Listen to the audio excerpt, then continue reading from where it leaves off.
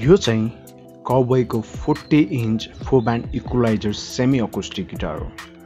यसको body finish mat फिनिसमा छ भने यसको फ्रेड बोर्डहरू रोज वुड फिनिसमा चाहिँ बनेको छ। र कि प्याटर्नहरू चाहिँ यो कभर के प्याटर्नमा बनेको छ? फिनिसिङ एकदम राम्रो बजाउँदा धेरै नै राम्रो। फोर ब्यान्ड इक्वलाइजर फिनिस भएको यो कबोय गिटार तपाईँहरूलाई पनि चाहेमा कृपया हामीलाई सम्झिनुहोला।